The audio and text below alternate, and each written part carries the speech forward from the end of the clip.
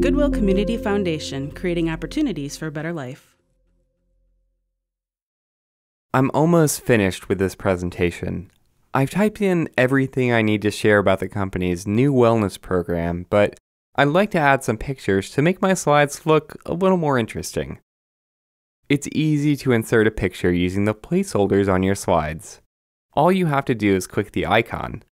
But there are actually a few ways to add an image, even if your slide doesn't have a placeholder like this. It all starts with the Insert tab. I already know what picture I want to use for this slide, and I have it saved to my computer. That means I can use the Pictures command to locate the image and insert it. The picture will appear on the slide.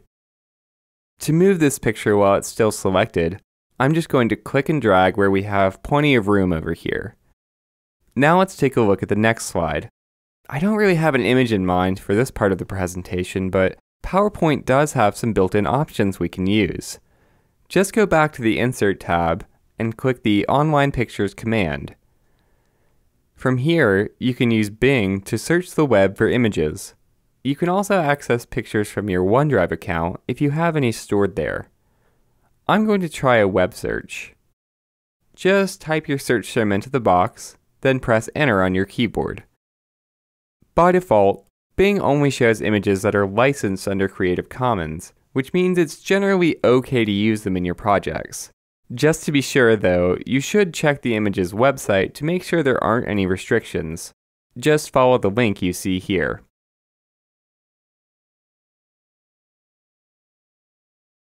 This one looks good. To insert it, I'm going to click the thumbnail, then the Insert button, and the image will appear on the slide. This picture is a little big, but that's an easy fix. To change the size of an image, all you have to do is click and drag the sizing handles here.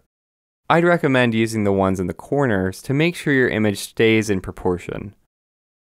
I'm also going to move it just a bit. And to make it look a little neater, I'm going to use the rotation handle at the top to rotate it. There we go, that looks great. On my next slide, the picture I want to add is a bit more unique. I'm going to use a screenshot. A screenshot is an image of whatever is currently displayed on your screen. For example, I found this website that can be used to track your health goals, and I'd like to include a picture of that in the presentation. Let's go back to PowerPoint, and then Insert, Screenshot to take a look at our options. I have two different windows open right now, including an Excel spreadsheet and the website I want to capture. Just click the window you want to take a screenshot of, and now we have a picture of the window on this slide. This isn't exactly what I wanted though. This screenshot includes other parts of my browser, like the navigation buttons and the status bar. I'd like to see if we can take a picture of just the health tracker in the middle.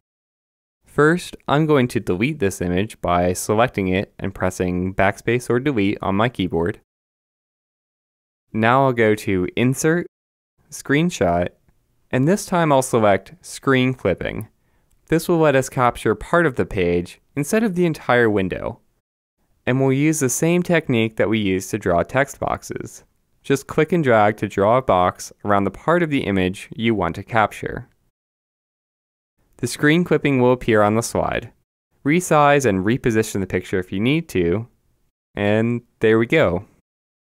Whether you're working with photos that are already on your computer, photos from the web, or even a simple screenshot, the right pictures can really help to make your presentations a lot more interesting.